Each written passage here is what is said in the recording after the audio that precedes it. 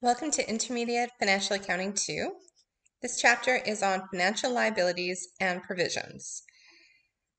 I'm going to talk a bit about how these videos are structured now in our first video, and then in subsequent videos, I'll just dive right in. Each larger uh, chunk of topics, so what may typically correspond to a chapter, we'll start off with this title slide, uh, reminding you of the course that you're in, as well as uh, the the umbrella of topics that this falls under. So we're still in our Intermediate Financial Accounting 2 course, and this week we're looking at financial liabilities and provisions. That under financial liabilities and provisions, our first topic is to look at the liability definition and categories. This entire video will be on one topic. Each topic will typically have one, maybe two, possibly as many as three videos. Each video, except for this one, which has a little bit more explaining, uh, will be typically four to six minutes. Each video will have MCQs if they are not about course content, um, they will be something to kind of um, prime on the topic that you just saw, either knowledge based or application based. I will say um, uh, I'll give you an example of when we see one, but essentially I will read out the MCQ and then I'll pause. And when I pause, I won't be prompting you each time to pause the video and to think of an answer, uh, but rather I will just do that because um, me reminding you to pause the video after reading an MCQ, after a while, you're like, mm-hmm, okay, like we know. Uh, and then um, after kind of I'll, I'll leave it for a bit of a break and then I'll come back and, and give you the answer. So inherently in there, you would be pausing.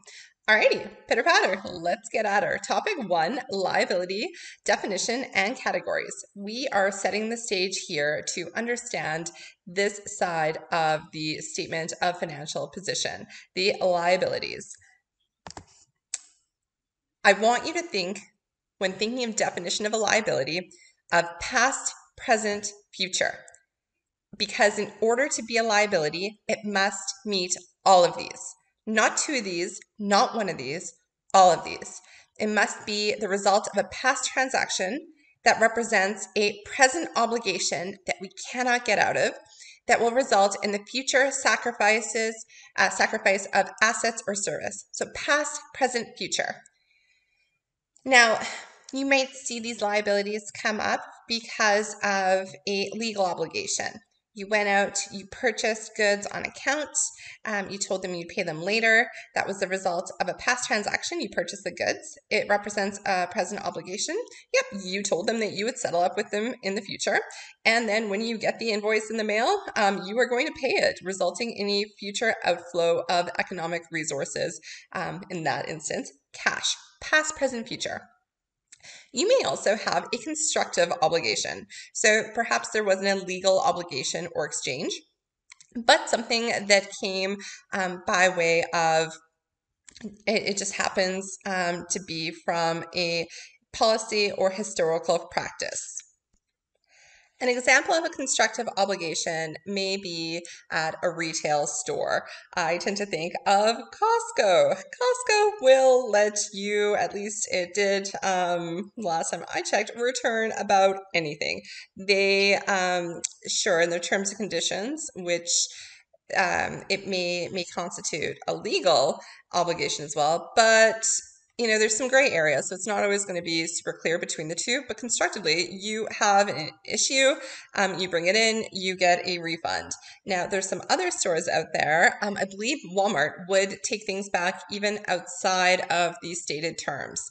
Uh, so even more in this gray zone, even more towards the constructive versus the legal obligation. So I remember somebody saying that they returned or their uncle returned a car battery, you know, five years later, uh, et cetera, et cetera. So, you know, the moment that Walmart kind of has this as their norm, they are seen as being somebody that will be very customer, you know, focused, friendly, um, accepting, and they need to put a bigger liability on their sheet because they know that the moment that $100,000 worth of goods walk out the store, um, that as a result of that sale, that past sale, there's going to be some percentage of those people that come back with their five years with their car battery. Um, so right now, today, because they sold that, they know that some percentage will result in a future outflow of cash going back. So they need to record a liability, a provision for that. So whether or not something is legal or constructive, and again, there's some overlap here, I want you to think of a term that you will hear me talk about a lot this term substance over form. Form is the law. It's, you know, what is stated. Substance is what is this actually mean? Substance over form is a principle in accounting and it is it, it just transcends. So it means that it doesn't matter what the lawyers wrote. It doesn't mean um, what somebody could interpret it as. What is the real you know meat of the situation? That's what we need to account for. That is why we're not going to be replaced by robots anytime soon because we need to look at substance over form and reflect the economic reality of the situation. There are a number of categories of liabilities. Something can be either financial liability or non financial. So, we'll talk about the definition of a financial liability first. So, this is something, a liability, the past, present, future, uh, that requires cash to settle. So, this could be something like a loan payable. And typically, this creates um, somebody that has a financial liability for one party would have a financial asset for another. So, which makes sense because if it requires cash to settle a financial liability, then it requires cash to be received to um, as if you were the holder of a financial asset. Now, the non financial liability is everything else. So, if it doesn't meet the definition of a financial liability, then it's a non financial liability. And an example of that would be uh, a provision. If it was a provision um, that resulted in, say, um, say a store, you know, had a really good, not return policy, but a really good warranty. So we'll see warranty and provisions kind of used interchangeably because warranties are a type of provision where, you know, instead of giving you a new vacuum cleaner, the store will take in your vacuum cleaner and they will repair it. Um, they need to put aside a provision to show that they will be repair paying somebody to repair your vacuum cleaner. So while they will be spending money um, or parts and services, they will be having an economic outflow that represents a liability to fix, you know, one in every hundred or so uh, vacuum cleaners that go out, um, they are not going to be refunding the uh, the customers directly. So in that instance, that would be an example of a non-financial liability.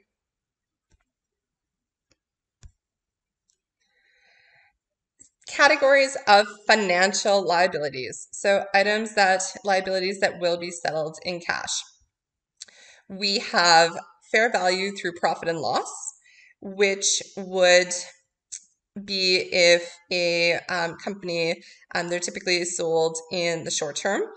And they could also be uh, designated as fair value through profit and loss by management. So, an example would be for hedging purposes. And whenever it is fair value through profit and loss, that means that any fluctuations in the fair value will go through the income statement. And because it goes to the income statement, if there are any transaction costs associated with this um, financial liability, that is expensed immediately, which inherently makes sense because if you're going to have something that fluctuates in value up and down go through the profit and loss statement, why would you capitalize or associate any transaction costs just to then expense them? So we say, you know, uh, don't you know what is it? Don't pass go. Just don't don't go stop. Go immediately. Just expense them. Okay. So there is an exception there. If there is a case where under IFRS where the value is changed um, by the credit risk, that will go through OCI. Um, that is not going to be examinable, but I just want you to be aware in case that comes up in a subsequent course for you, a subsequent course at graduate level accounting. So other financial liabilities are not going through financial uh, fair value through profit and loss, and instead are at amortized cost. Now, typically we just say cost but we say amortized cost uh, to sound a little bit fancy, but also to encapsulate the uh, time value of money. So if you have if you have um, something and we say, okay, recorded at amortized cost, if it's less than a year, there are there's not going to be anything to amortize to reflect the time value of money because we are here. But we say the term amortized cost to reflect the fact that if it had been longer than a year, then um, then it would be reflect it would have some um, some finance some accretion that would reflect that. Okay which leads us to the next part classifying liabilities as either current or long term current will be settled we'll just say within the next 12 months that's a really good bar. Know that it is typically operating cycle, but let's let's use 12 months. And long-term liabilities will be anything longer than that 12-month period. If an item is a long-term liability, then the way this is presented on the statement of financial position is to show the current portion, what's due within the next 12 months, separately from the long-term liability, the remainder. So anything due longer than 12 months. So this makes a bit more sense when we tie into the amortized cost. So what we're going to be doing with um, all other items that weren't designated as fair value through profit and loss. If it's amortized cost, then what we should start thinking and start kind of linking in our minds is that the long-term portion will be discounted. And if anytime we discount it, we're making it you know, smaller right now, but we're going to have to make it bigger as the um, settlement date comes due. And if we're making a liability bigger, that's a credit. Where is that other side? Where is that debit? So start thinking about that. Um, and um, and we'll see that in subsequent slides. Um, not in this uh, video, but where if we're making a liability bigger and we need a debit, what bucket will that go into? And I'll talk a bit more about buckets in a subsequent topic. All right. So you guys have done fabulous. It is time for our question. Which of the following is not a part of the definition of a liability?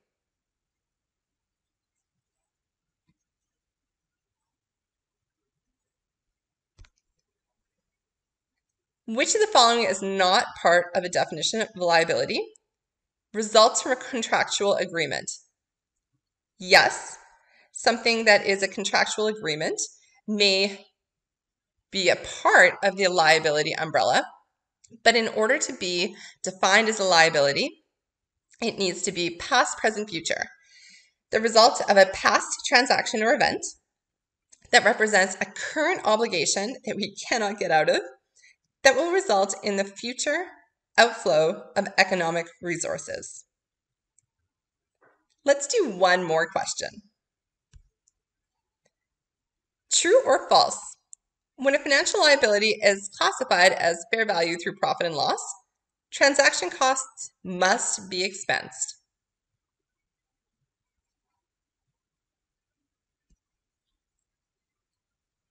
When a financial liability is classified as fair value through profit and loss, transaction costs must be expensed? The answer is true. Fair value through profit and loss means the economic reality of what this liability is presently um, presently in the marketplace. It goes up and down as your liability on the statement of financial position. So if it goes up or down, that means the other side is the income statement. So anytime you have transaction costs associated with a fair value through profit and loss item, the transaction costs are just expensed right away. Put them to the income statement rather than, you know, coupling them to this financial liability and then writing them off the next time you're doing a fair value through profit and loss um, and comparing to what it is in the marketplace against other uh, financial liabilities. So they are immediately expensed. Thank you so much. We'll see you in the next video.